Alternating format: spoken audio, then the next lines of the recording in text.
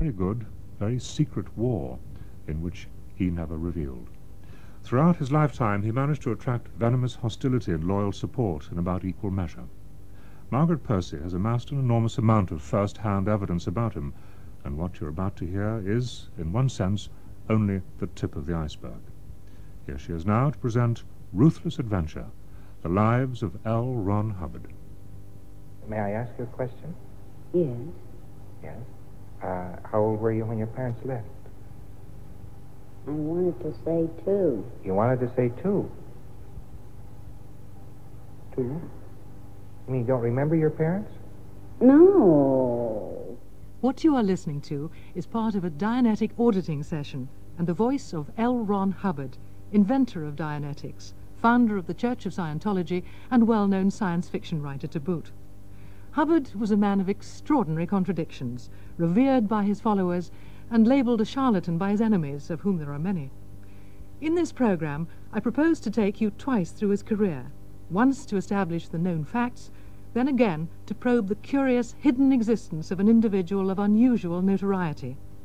The fact is that there is no one person alive who knows all about Ron Hubbard. Even his reputation may be less his than that of parts of his church. Hubbard was excluded from several countries and vilified by the judiciary. What, after all, was his crime? To propose an engineering model of the mind and an everyman's method of psychoanalysis. Surely not so dangerous a proposition. Well, we shall see. I have talked with many of Hubbard's friends, followers, family, and opponents, too. Some you will hear. A few I cannot identify because of attacks they've suffered in the past. But now, let us return down the time track to 1950 and that auditing session with which we began. Auditing means to pinpoint engrams, painful events buried in the subconscious. There's no hypnotism involved. The patient here is merely relaxed and with eyes shut, concentrating on the sound of her auditor's, Hubbard's, voice. Hubbard is encouraging her to relive the moment when she last saw her parents when she was two. All I get is take her away. Go over that again. Take her away. Take her away. Take her away. Go it again. Take her away. Go it again. Take her away. Go it again. Take her away. Go it again. Take her away. Go it again. No, I won't. Go it again. I won't. I won't. I won't. I won't. When the patient eventually can review that terrible moment without pain or emotion, then she is said to be clear of the engram. If she were to be cleared of all engrams, then she would be a clear, her personality freed to develop, and her potential enhanced. That was Hubbard's idea. He summed it up in a book on Dianetics. In 1950, after months of experimenting of this nature, some enthusiastic doctors and scientists invited Art Ceppos, a New York publisher, to observe Hubbard at work. Ron was very, very clear, very convincing. On the other hand, I was very skeptical, naturally, as a publisher. And my associate, who was a uh, practicing psychotherapist, was completely convinced. How long did it take him to write it? 30 days By himself? by himself. By the time the book was finished, there were orders for 40,000 copies with cash enclosed. 1950 was a year of mistrust. The shadow of McCarthyism lay across America, and the Cold War was in its third year. It was against this background that Dianetics, the modern science of mental health, became an instant bestseller, and Hubbard, at long last, a success. I think he, he had to be the top person. He wanted to do something that would make Barnum look like a piker. Where did you get that expression from? Him. I heard him say it. The implication to us was he was going to make himself very rich. By 1938, I thought I had a common denominator to all life. After all, I had associated rather thoroughly with 12 different native cultures, not including the people in the Bronx. and uh, I had a pretty good idea, pretty good idea of what this study would comprise. By that time, I found out that primitive man and civilized man had a great many things in common, but not all of them had one thing in common except survival. Only survival did they all have in common, whether they were Thlinkets up in Alaska. Ron Hubbard had a message people the world over found irresistible. Local Dianetics groups mushroomed. Many doctors used his techniques enthusiastically, and some still do. But the American Medical Association was not amused. When newspapers quoted Hubbard as saying that Dianetics could cure all manner of ills from asthma to sex deviation, the AMA accused Hubbard of quackery and of encouraging unqualified persons to dabble in psychoanalysis, armed with no more than a diploma in Dianetics. When Hubbard publicly denounced practices such as electroconvulsive shock therapy and lobotomy as crude assaults on the brain, the psychiatric establishment was outraged. A surreptitious war began. Closed meetings were held with Hubbard's name on the agenda. The assistance of government agencies was enlisted, the Food and Drug Administration, the FBI, and even the Attorney General of the United States. So much trouble over the activities of a quack. Hubbard attempted to defend his position by setting up a church, the Church of Scientology. This set Dianetics in the broader context of religion, complete with reincarnation and a philosophy covering everybody's lives, past and present. He also introduced a diagnostic device, a confessional aid. This was the E-meter, which measures body resistance when an individual thinks of a word or idea associated with pain. Cranky or serious? By the end of the 1950s, Hubbard was running Scientology from England. He was at St. Hill Manor in Sussex. It seemed less vulnerable. And in January 1963, the war with the American establishment came into the open with a vengeance. Peter Stumke, who's been a Scientologist for 30 years, was in Washington at the time. All of a sudden, we were being treated like criminals. We were being raided by a government agency in the USA. And our materials, not only did they take the e-meters, but they seized books as well and other things, and they burst in on counseling sessions. And the government, that particular government agency, had begun a campaign uh, which, which labeled the e-meter a quack device. England, too, was becoming less of a safe refuge. Hubbard had acquired a habit of contacting foreign governments when he was abroad, ever anxious to put his techniques and philosophies at the disposal of the world. Suddenly, his organizations were under investigation in a number of countries, notably Australia. Ostensibly, Scientology was charged with malpractice. By February 1966, questions were being asked in the House of Commons at Westminster, but Hubbard had already fled from St. Hill. He left on January the 4th, and I spent the whole day crying. I cried and I cried and I cried. I thought I'd never stop because it was such a loss. The whole atmosphere changed when he went. That was another Scientology veteran, Anne Gregg. Many, like her, felt a deep sense of loss. Soon after, the British popular press began a witch hunt of Scientologists and their founder and by 1968, in an extraordinarily uncharacteristic move, the government slapped an aliens order on Scientology, a ban which was lifted only three years later. But where was Hubbard to defend his followers? Some felt totally abandoned. I didn't know. I really didn't know. My person that I thought was a friend, he's gone away. So he must have been lying to me somewhere along the line. Leave me alone. John McMaster, a former Scientologist and still a believer. Pam and Ray Kemp, on the other hand, never were card-carrying members of the church, though they were close friends of Hubbard since 1951 and still practice his techniques. Their interpretation of Hubbard's silence focuses on his ambivalence towards government. My personal opinion, in 1966, when he started forming up the Sea Org, and he started to leave to go and be on the ships, that was a definite non-confront of things that he had to mm-hmm. handle in England. Um, and in South Africa. And, and in South in Africa, Australia. correct. All of the problems were coming to the fore, and uh, he did what I call a bunk. He could not handle authority, never has been able to. He could not handle government. Government, that's what I mean. Yet he was always mixed up with it. Right. Like an alcoholic. A profound change came over Scientology when Hubbard, LRH, left England. He moved his personal headquarters onto a ship and called it the Sea Org, as we've heard. There was something profoundly disturbing in this, which the Kemps have attempted to put their finger on from the outside. In one of those late lectures around about that time, he made the statement, right, I have now completed my research. I have now done my job. Coincident with that, he brings out this bulletin called Confront of Evil. So now we've got a change in the whole philosophy. First of all, you don't confront it, you just acknowledge its existence and blow it off the line. Now you've got to sit there with it right in front of you. Coincident with that comes the formation of the Guardians Office to guard the technology. Once he got into um, the Sea Org concept, Mhm. the idea of putting the Sea Org together and going off on a ship, after that is when, and he put in um, heavy ethics, and he put everybody in those funny uniforms with the truncheons and the, the helmets and things. It was at that point, I think, everything changed. The whole, um, the, the basic philosophy has always been there, um, but I think even in LRH, I think LRH changed at that time too. I don't know what happened in his life at that time. Whatever caused the change, the roots lie very deep, as we'll hear later on. The mathematician Perry Chapdelaine is another old hand from the early days.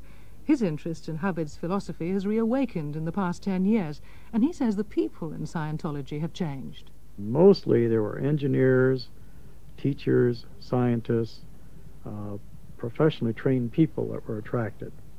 And uh, nowadays, uh, it seems like there's more arty type people, plus people who come into the organization without a whole lot of education.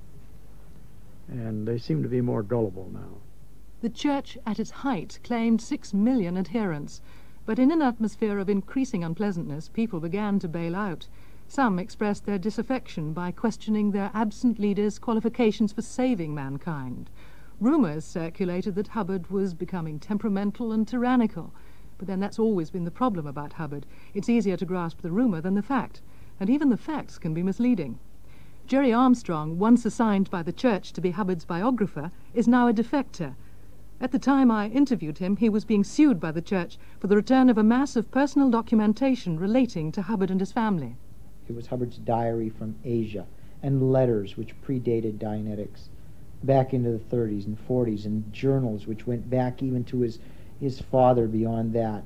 Clearly I was being defrauded and thereafter the story just kept getting more bizarre and more bizarre until we've arrived at today where I suppose I'm his I'm his Judas.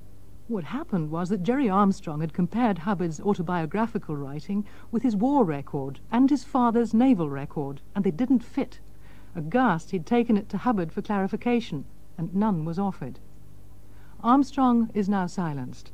The Church of Scientology settled its dispute with him out of court, one of many legal actions which have been quietly terminated since December 1986. Well, you may ask, with such evidence, why proceed at all, if all I'm to do is unmask once more L. Ron Hubbard, self styled scientist, engineer, science fiction writer, explorer, and war hero. This man who discoursed so disarmingly on the subject of his own past. I kept on writing. I wrote more and more successfully. Everything was going along fine. Went down to Hollywood, wrote pictures, things like this. Had a very full life, as a matter of fact, uh, professionally. And all the time, I was hiding behind the horrible secret. That is, I was trying to find out what the mind was all about. And I couldn't even tell my friends. They didn't understand. They said, here's Hubbard. He's leading a perfectly wonderful life. He gets to associate with movie actresses. he knows hypnotism and so has no trouble with editors. Was Hubbard a brilliant inventor, a talented showman, or just a get rich quick fraud? My every instinct as a journalist said there was something else there that we hadn't uncovered. And that clue was in a book he wrote in 1951, The Science of Survival, where he talked about the use of drugs to change human behavior as an espionage tool.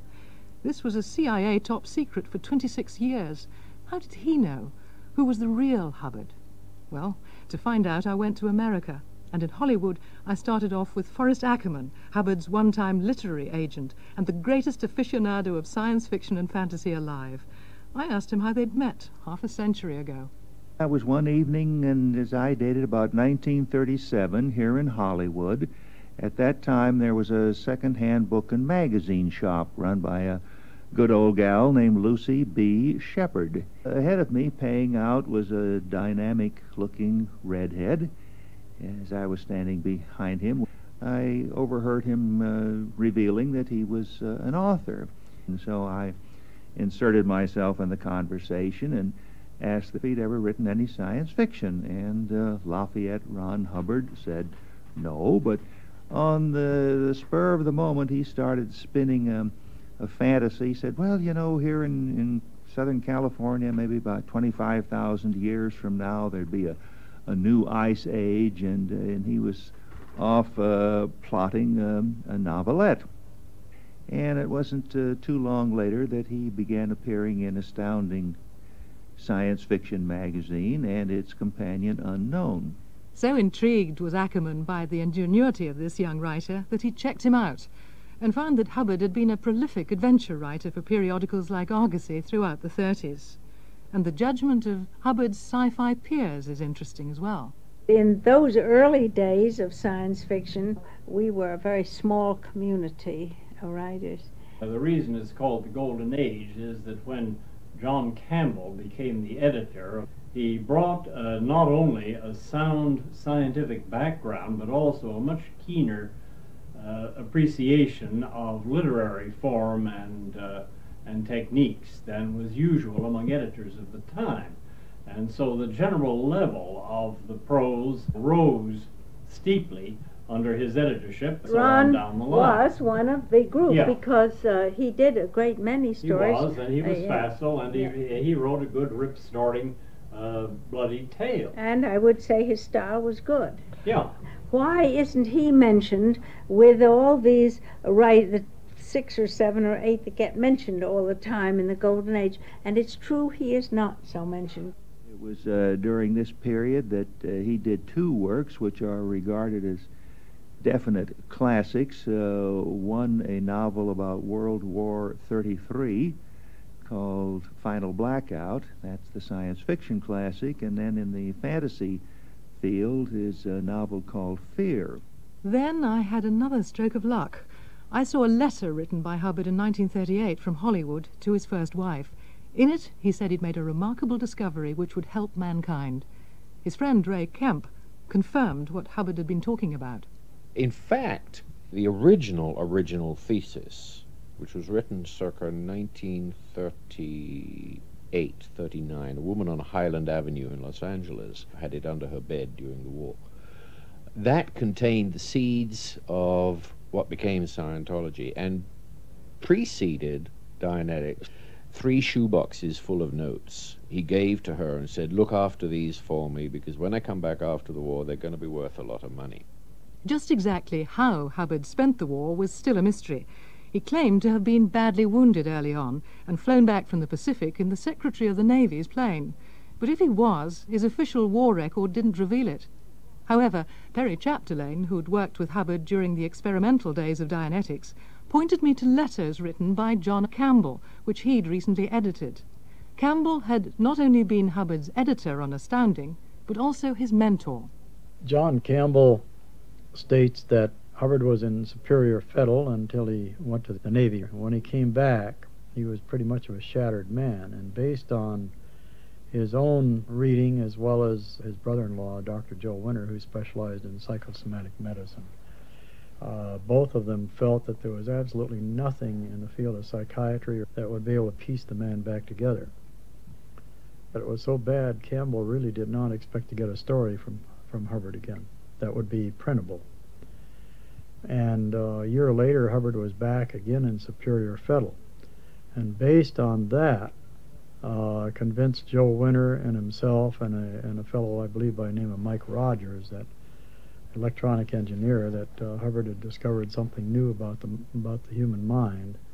And that's when all four of them uh, began working with Dianetics prior to the first book coming out.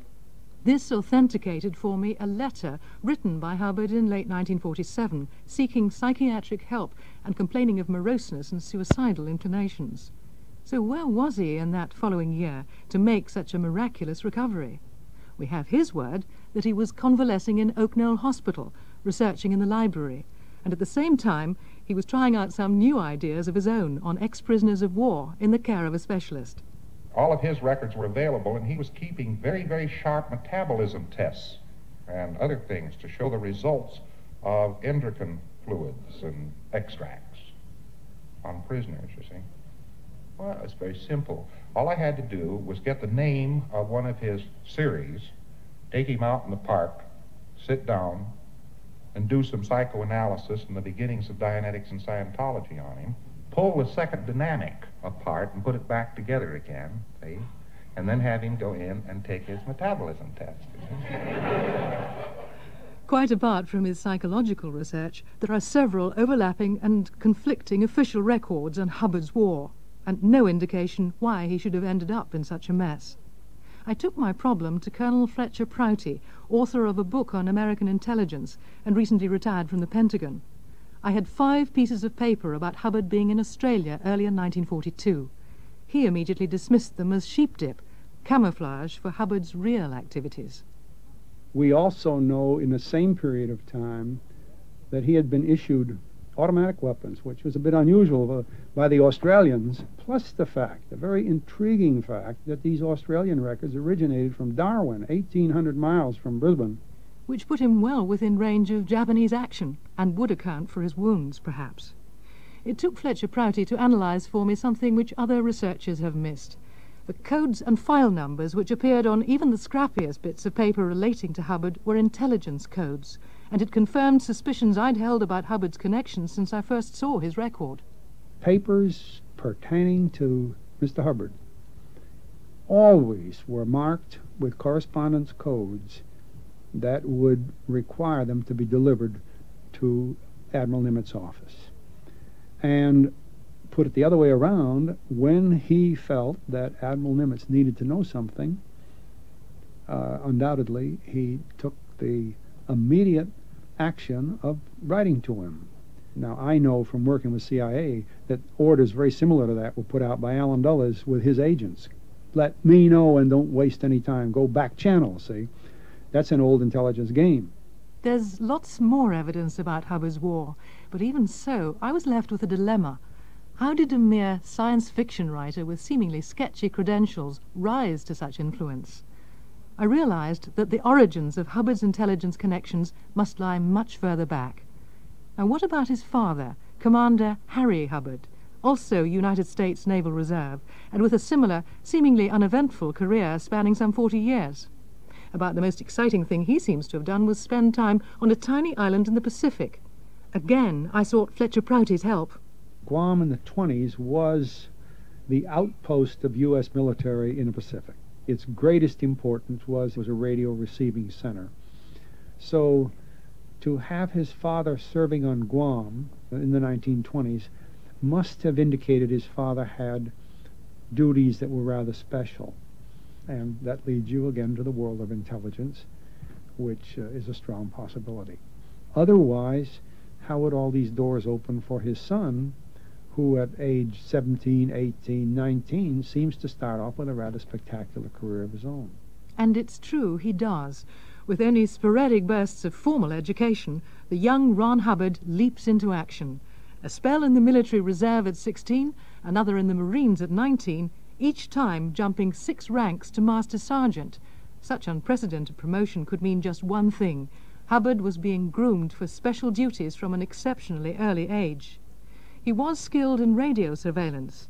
He learned to fly at 16. He held licenses to captain all manner of vessels. Clearly, on the outbreak of war, such talents were needed. But where does that leave our picture of Hubbard? Was he, after all, a patriot whom history would conceal? Ironic, then, if his country later denied and attacked a man who seems to have served it well. But what was really fantastic was what was going on in Hubbard's head right through the war. It made his reunion with his literary agent Forry Ackerman memorable. In between uh, the squirts of tobacco, he began telling me a tale so fascinating that uh, parked in front of my apartment and kept me up till the sun started rising, telling me how during um, the war he had an operation, and uh, while he was lying on the operating table, he died. And uh, he said he found himself in spirit form, And as uh, he was wafting there in the air, looking down at the corpse he once inhabited, well, off in the distance, he saw a fascinating uh, wall with a very ornate gate in it. Looked like uh, something out of China or ancient Tibet. Well, having nothing better to do, he drifted on through, and wow, there spread out before him was an intellectual smorgasbord, the like of which the mind of man had never beheld. Here was the answer to the Big Bang, what was God was up to. Did he really rest on the seventh day? And was there life on other planets? Uh, you know, was there reincarnation? Everything that has ever puzzled philosophers down the ages, there it was, all in black and white spelled out, and like a sponge, he was absorbing all of this fantastic information. Forrest Ackerman, incidentally, is a founder member of the Los Angeles Science Fiction and Fantasy Club, and it was there, in 1946, that Hubbard struck up a controversial relationship with a brilliant and unorthodox young scientist called Jack Parsons. He was an associate of the British black magician, Aleister Crowley. When I was in Hollywood, I met a friend of Parsons, Kenneth Anger, the art film maker. Hubbard came into Jack's life and ruined everything. And Hubbard was what we technically call an elemental demon. He had all the characteristics of a witch. And so did this woman that came into Jack's life at the same time, Marjorie Cameron. Marjorie Cameron herself, now Parsons' widow, has a very different view. Hubbard never got into Crowley that much. Uh, but Jack, Jack knew Crowley's work very well and considered himself Crowley's magical son. I believe at that time he was being investigated by the FBI, and Hubbard may have been an agent, as he claims. And I have found further evidence which shows that Hubbard worked with the police in Los Angeles in 1947 and 48. I believe Hubbard's contact with Parsons was for American intelligence, though Hubbard obviously was psychic and had a personal interest in magic. Parsons, incidentally, met his death in a mysterious explosion in 1952, but by then Hubbard was beset by enemies of his Dianetics techniques. Desperate to get the psychiatrists off his back, Hubbard, according to letters in Perry Chapdelaine's possession, sought the advice of John Campbell, the ingenious editor of astounding science fiction.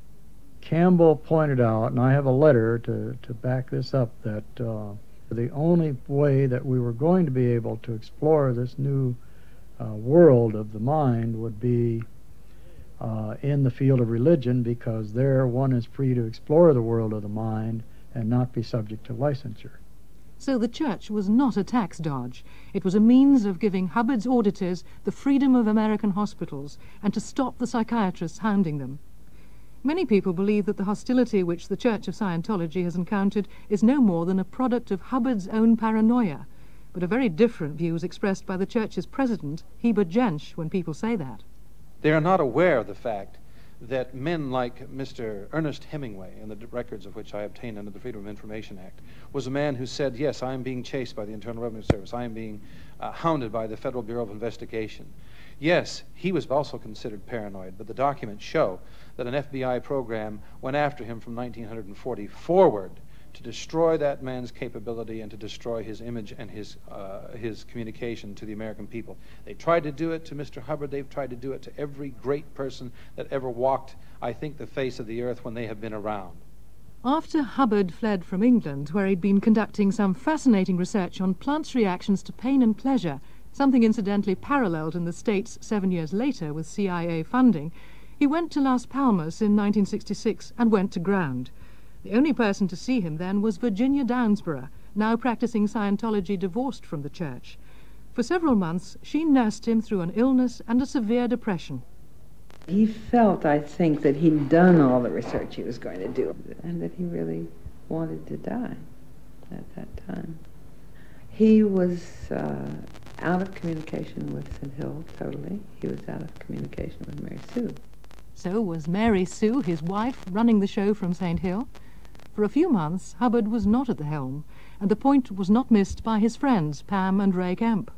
From the moment that he actually left the country and uh, uh, formed his own floating Sea Org, he lost touch with all of reality, and Hubbard only had around him those people who did as he said. Well, that's Because- why he formed his messenger service That's right. originally. Absolutely right. Who now run the whole goddamn thing. Forgive the French, but that's the way it is. So what he was no longer looking at society as it was. He was now getting information from all of these other people who were his eyes and ears of the world. Mhm. Let's face it, they didn't even know the subject. So, in a sense, he was intellectually disorientated. Yes. Absolutely, yes. Putting it But- another way, he was fed false data. I mean, it's like it's it's like a computer, you know, gigo, garbage in, garbage out.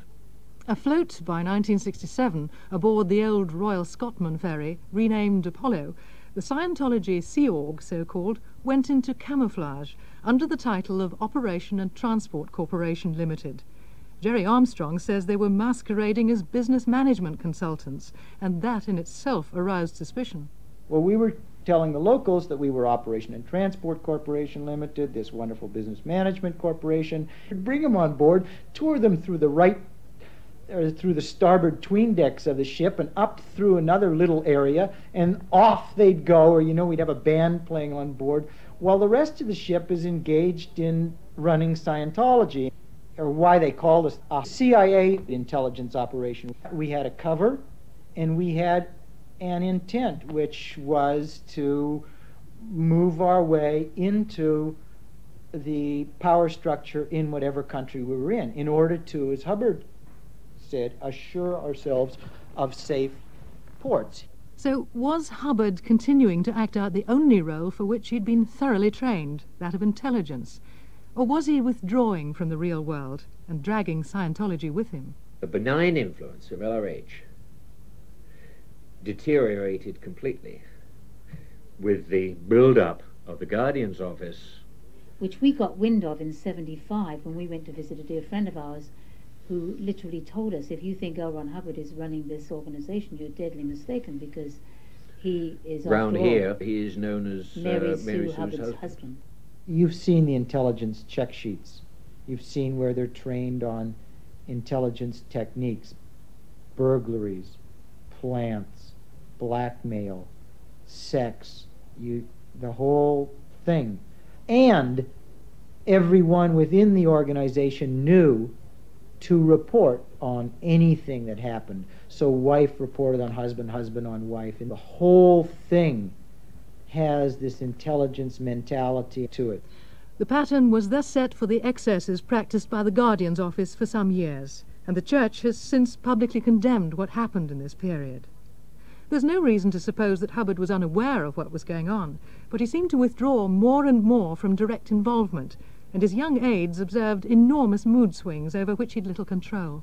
He considered himself to be allergic to, um, I think it was 30 or 40 different um, things. I've seen him actually literally eat a handful of pills, start throwing them down and gulping water and throwing more of them down until he got through this huge handful of vitamins, antibiotics, enzyme pills, and um, antacid. He had a big uh, Harley, and uh, he fell off the bike, and he damaged his shoulders, and he became a petulant, utter asshole after that for several months. And he had, in my opinion, incredibly low tolerance for pain. Saw him nearly dead. The reason why I was called to audit him in 1978. When I got there, he was almost in a coma. And this doctor had grabbed a um, power cord for a kettle and ripped the plug off one end of it and bared the wires ready to put an electric jolt on his heart. And he was convinced he was on the edge of death. That was David Mayo, Hubbard's personal auditor. Hubbard had returned finally to the United States in 1975 and went aground.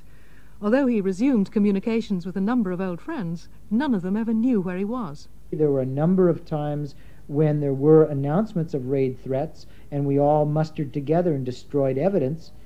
There always was a getaway car, kept tuned up and tweaked on and kept ready. If anyone arrived at the property, instantly the messengers and various people throughout the property were alerted by, by radio. we were instructed and drilled to not accept service of process, to kick them away, to deny Hubbard's living there. Hubbard's safety was paramount. In 1980, as Hubbard's wife Mary Sue and other members of the Guardian's office were sentenced for stealing documents from state agencies, he vanished. From then until his death in January 1985, at most five people were privy to his movements, actions, and moods. And then in 1983, new science fiction began to appear under his name Battlefield Earth and the immense decalogy, Mission Earth. They were brilliantly publicized and on the whole very well received. In fact, one has just been nominated for a sci-fi Hugo Award. Perry Chapdelaine. My theory is that Hubbard looked over the expanding field of science fiction that occurred right after Star Wars and said, well, uh, maybe I should go in and tap that vein again. The way to tap the vein is to sit down and indulge myself and write some crackerjack ac action adventure stories. A chance once more to be remembered as a science fiction writer and to win new recruits to Scientology. The whole of the latter part of Hubbard's life suggests that he truly believed himself to be in a race against time to save the world. And according to Hana Eltringham Whitfield, Hubbard knew his mission couldn't succeed in one lifetime. He brought out late one night the problem how would he handle dying and coming back the next time so that, number one, people would recognize who he was, and two, he would have the money on hand to restore Scientology or um, correct it if he needed to. And he was genuinely, genuinely looking at that problem. Do you think in, in setting up, in the end, a fairly wealthy trust, he had at least achieved the potential. That's what he was looking at.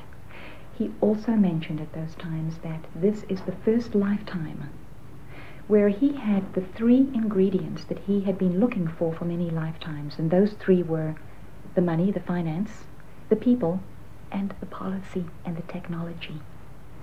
And he was able to put those three together this lifetime. Money put by for Hubbard's next lifetime. Sometimes, just sometimes, it's necessary to suspend our disbelief in order to approach the truth. Here, in the fragments of his life I've been able to verify, are the keys not only to the real Ron Hubbard, but ultimately to the Church of Scientology. No one is suggesting that you have to accept reincarnation and all that stuff. Put it aside. In my view, Hubbard has been squeezed out of history. Perhaps the time has come for a dispassionate evaluation of the life and times of L. Ron Hubbard, innovator, science fiction writer of the Golden Age, explorer, patriot, yes, and scientist. Yes, power was part of it. But I don't know how much it was just power. I think it was a step further. He had the altruistic goals there. I think that his enormous contribution was the integration of this planet's knowledge into a really extremely workable technology. They have this big lawsuit saying he was a fraud, he was a this, he was a that. No, he wasn't. He wasn't any of those things. All of those people went in on their own free will, paid their money on their own free will when they adored this man to pay for their services, right? And every one of those people that I know were his um, loyal subjects. That was what was wrong with them. And- he used to complain about people who dropped out of society into Scientology. Yes, but of course that's what a cult is all about. Like he was a man who was not immoral, he was a man who was amoral. He was outside the social framework in many respects. But aren't all geniuses? And pretty soon you got the man made into a god or a super superhuman being that lived ten lives while the rest of us are living one. That was Ruthless Adventure The Lives of L. Ron Hubbard. It was presented by Margaret Percy and produced by Graham Tyre.